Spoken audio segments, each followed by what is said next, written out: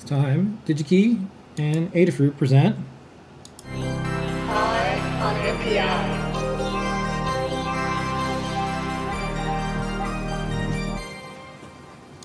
Okay, this week's Eye on NPI new product, Lady Ada, is from Texas Instruments. That's right. What is it? I love Texas. They got great chips and they got great barbecue. This week's IMPI is the TI BQ 25792. Have it written down so don't forget it. The BQ 25792, which actually wasn't on the DigiKey new product section, but is such an awesome chip. Um, I saw it, I think, through like the TI RSS feed, and I was like, okay, I gotta, I gotta cover this because this is such a great um, charger chip.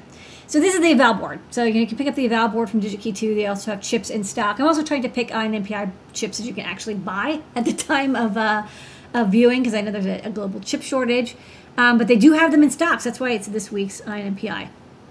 So the BQ 25792, here you go. So this is a chip. This is a simplified schematic because there's a bunch of control pins that aren't shown here. Basically, it's a buck boost battery charger. You can uh, charge one to four series batteries, 4S, so that's four batteries in a row, just like I think 18 volts or something.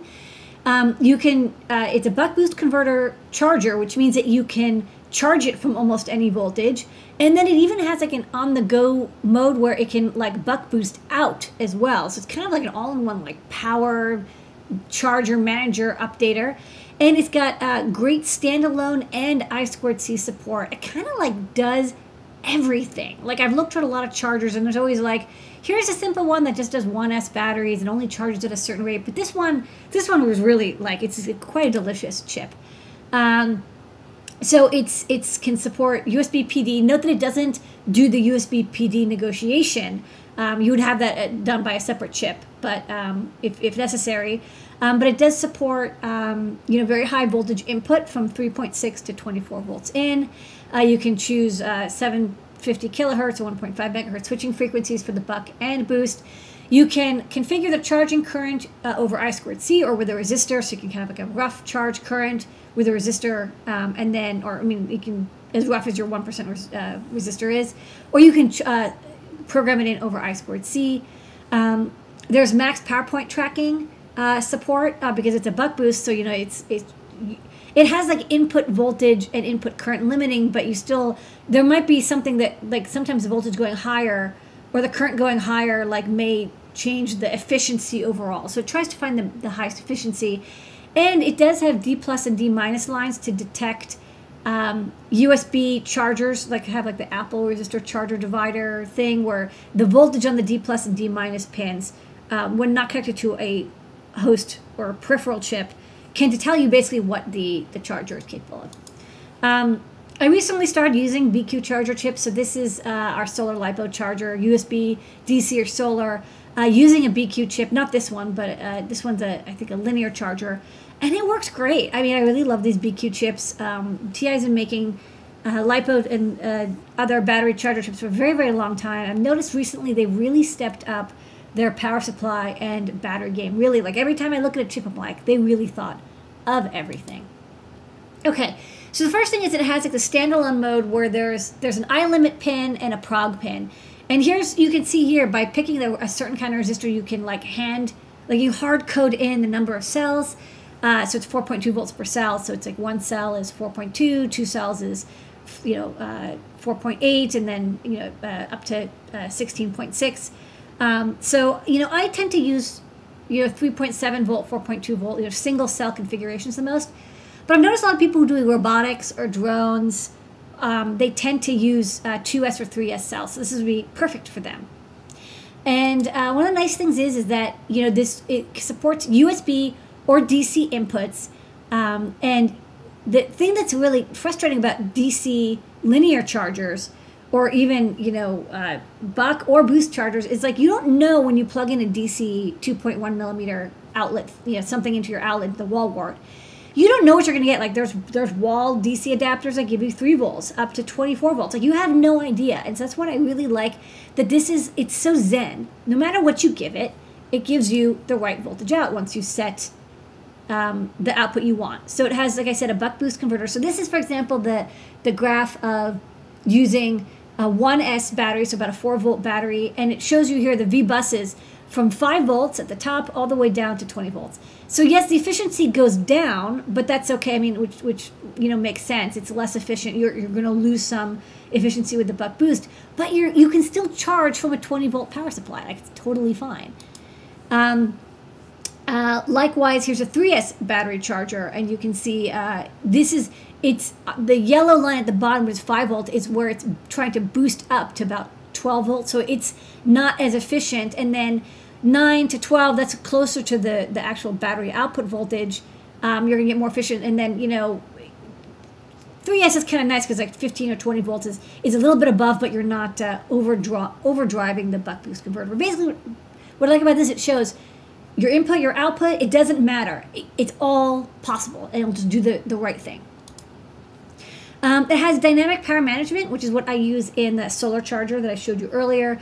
Um, so it, you know, if you have a wall adapter and it can supply one amp max, but you're trying to charge a battery and it likes to be charged at two amps max, like you don't want to draw two amps from the wall adapter um, because you'll collapse the voltage. Like the, the, the wall adapter will overcurrent and shut down. So you have to be very careful. As you see that voltage drooping, you, you want to stop before you overload the adapter, overload the USB port. The, the cable can, you know, have a voltage drop as well. So it uses this dynamic power management, which checks the, the input voltage and, and slowly uh, turns down the current as the, um, as the voltage starts drooping.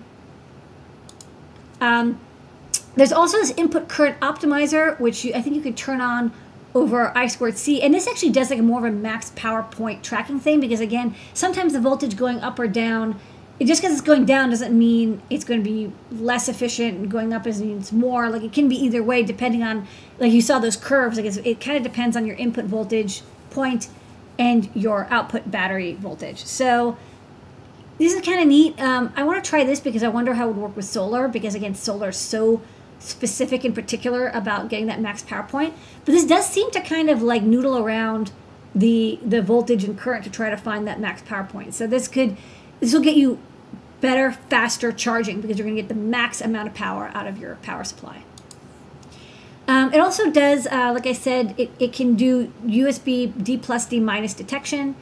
Um, you know, depending on the voltage dividers on those two pins, it can give you a hint about what the uh, power supply can give you. And so this, if you connect the D plus and D minus pins, it'll, it'll it'll do an analog digital conversion on those and kind of try to figure out like, okay, what's what does the power supply think it can provide?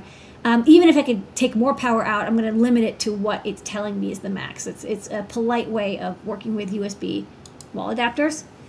Um, and then, of course, there's this I squared C interface. And so you can use that to read the analog digital converter inside. So, like, everything from like the temperature to the battery input voltage to the power input voltage to the current uh, for charging and the current for the buck boost converters all measured. And so you can read that whenever you want to see what the status is and like do an analysis of how your your battery life is is going on. So that's the I squared C port, which again is optional. You don't need to use it; it runs perfectly fine in standalone mode. Um, and finally, the, I thought this was kind of nifty, although I, will be honest, I've never used this myself, is that you can put it into on-the-go mode, where instead of using the buck boost to charge the battery, the battery then like goes backwards and is buck boosted to an output voltage that you set over I squared C. So if you want it to be like a 5 volt output or 12 volt output uh, boost converter or buck converter, and especially if you're like kind of in the middle of like between what um, the battery nominal voltage and peak voltage is, this could be kind of neat. You don't have to use it. Of course, you can just take the system voltage out and it'll give you the, the battery voltage. Um, of course, it's, it does power sharing. So if it's powered over DC, you'll get, it, it won't drain the battery. You'll, you'll just get power from DC and then when the DC is connected, it, it charges from the, the battery instead. And this is just some efficiency showing that you can you know, get about like a half an amp to an amp uh, from the on-the-go uh, converter. So yeah, kind of like an all-in-one, like whatever you have. If it's got a bunch of lipo batteries, this charger will probably do the right job for you. All right, everybody likes this and everybody wants this. It's a great chip and so, it's in stock. It's yeah. not expensive. It's a couple bucks. Here's the part number. If they want to search, they can you know, yeah. read this here, but you could also probably just search for it. The BQ twenty five seven ninety two. So it's in stock. Yeah. Uh, which is again, I'm trying to only suggest things in stock. They have a, they have a couple thousand stock. I'm definitely going to pick some up. It's a great chip. It's available in QFN. It's not too hard to put together. It's non BGA, and uh, not too many pads and not too many connections. Like it's very It's bare bones. It's spare, but it's very complete. NPI.